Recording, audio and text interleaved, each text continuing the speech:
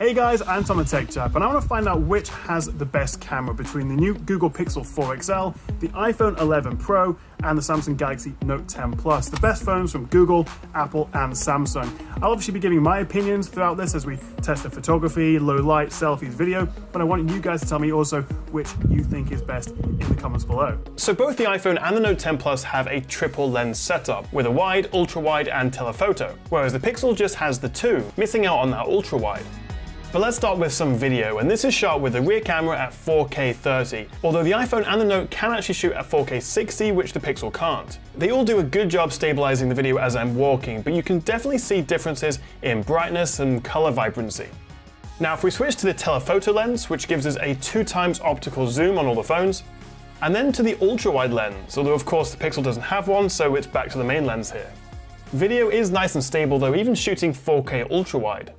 Now this is a really good test of the dynamic range, and I think the iPhone comes out on top here with a more even exposure throughout. Just look at the difference in the lighting of the hedge between the phones. But walking into town, video from all three look good. And actually I bumped into my little nephew Oliver, and you can see quite a big difference in how Say the phones Oliver. handle the skin tones. can, I, can I get a big wave? Say hi, Tom. Can I get a wave? Say like and subscribe. Like and subscribe? Like and subscribe? Yeah. Thank you, Ollie. but what about selfie video? You can see the angles slightly different because I've got the phones on this trident fork thing, so the angles are touch different, but you can see the quality, uh, the frame rate, and also the resolution because interestingly, both the iPhone and the Note 10 Plus can shoot selfie video in 4K, which this is being shot. The Pixel 4 still limited to 1080p, but in terms of stability, color accuracy, field of view, sort of how much I can get in the frame, and just picture quality, which do you think looks better?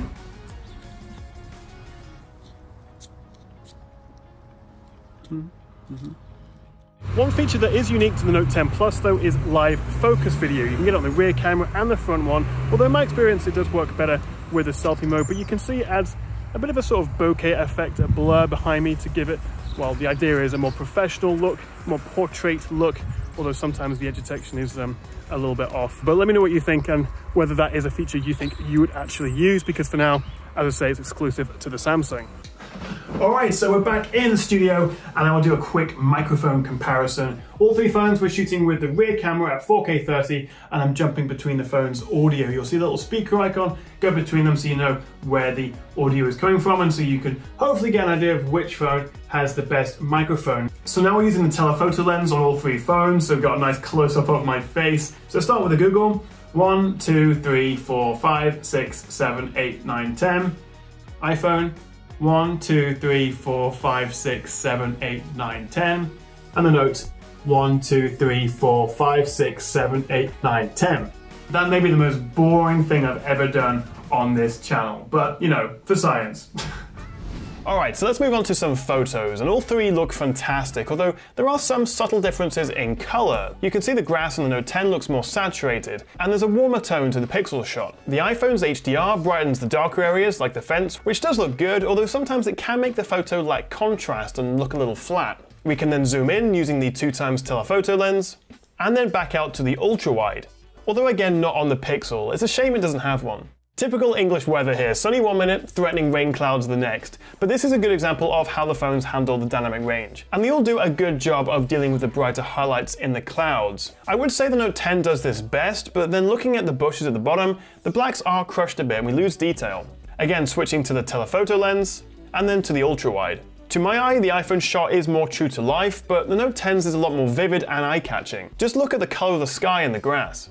Now this is really interesting because there's a big difference between the three. Again, the iPhone's HDR can make photos look quite flat sometimes and lacking in contrast. I think the Note 10 strikes a good balance, although the Pixel 4 is the most natural and true to life I would say. All three phones do have their beauty modes turned off though. This is one gorgeous looking dog, her name is Sky, and I think the biggest difference between the three is the Note's color saturation. Just look at her tongue and her owner's hand. Some people may prefer the vibrancy, but it's not as realistic. If I crop in by two and a half times, it's remarkable how similar they all are in terms of detail. Again, the main difference is the Note's color.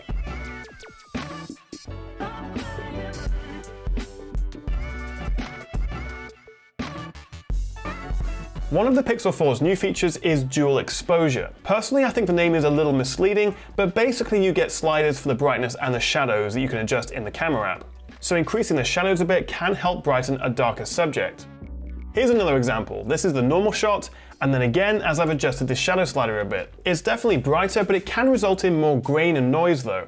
It really is incredible just how good the cameras in our phones are these days. And this is shot just with the phone's normal photo mode, no specific macro feature or anything. You can see a notable difference in colour and contrast between them though. Which one do you think looks best? So this is Nick, who came over to say hi as I was filming this video, and who's actually a subscriber, which is really cool. But for this picture, the phone's handled the tricky backlighting very differently. I'm actually impressed with the Note 10 though, handling the bright clouds, my darker coat. It definitely has a warmer tone, but subjectively, it does look good. The Pixels is by far the sharpest. You can definitely see more detail, particularly in our faces.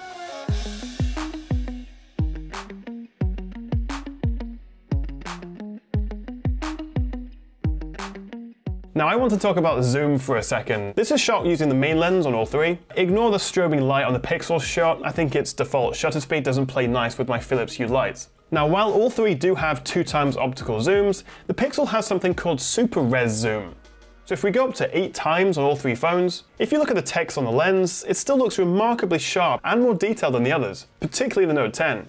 Moving on to a portrait shot, and firstly you can see the slightly wider field of view we get on the Pixel's camera. These were all taken from the same distance. They all look good, but I'd say the Pixel is the only one that doesn't completely smooth out my face and make me look a bit plasticky. As I say, all the extra beauty modes were off for this, but in terms of the bokeh blur, you can adjust the intensity of this on all three phones, even after you've taken the picture. Okay, let's try some low light shots, and while it's not totally dark outside just yet, I'm still using their night modes. And I think the iPhone and Pixel trade blows here, but the Note 10 Plus falls behind a little bit. It's over sharpened and doesn't look as natural, and the long exposure hasn't coped quite as well with the left side of the tree which was blowing in the wind, as well as the others. Okay, so this is without night mode, including turning off the iPhone's automatic one, but just look at the difference when you do use it. They're all significantly brighter and more detailed. I think I'm most impressed by the iPhones actually. Everything, including the floor, is sharp and well lit. Back in the studio, again using night modes, but in slightly brighter conditions, I'm impressed by the Pixel's more natural colours. So here we've got Teddy from Mr. Bean, an old camera and a fake plant. Firstly without night modes, and then again with them turned on. The Note 10 gets significantly brighter, perhaps a little overexposed. I think the Pixel wins though with overall detail. The Pixel does also have a new astrophotography mode that takes up to 16 15 second long exposures. You will need a tripod and to wait up to 4 minutes for each shot, but as you can see, it's significantly higher quality than the other two. So if you weren't already sick of my face, well, you will be soon. Let's compare some selfies. The iPhone and the Note do have a slightly wider field of view, but I think the Pixel and the iPhone do a much better job with the dynamic range between the brighter highlights and the shadows. Overall, I think the Pixel comes out on top though with its more natural colours.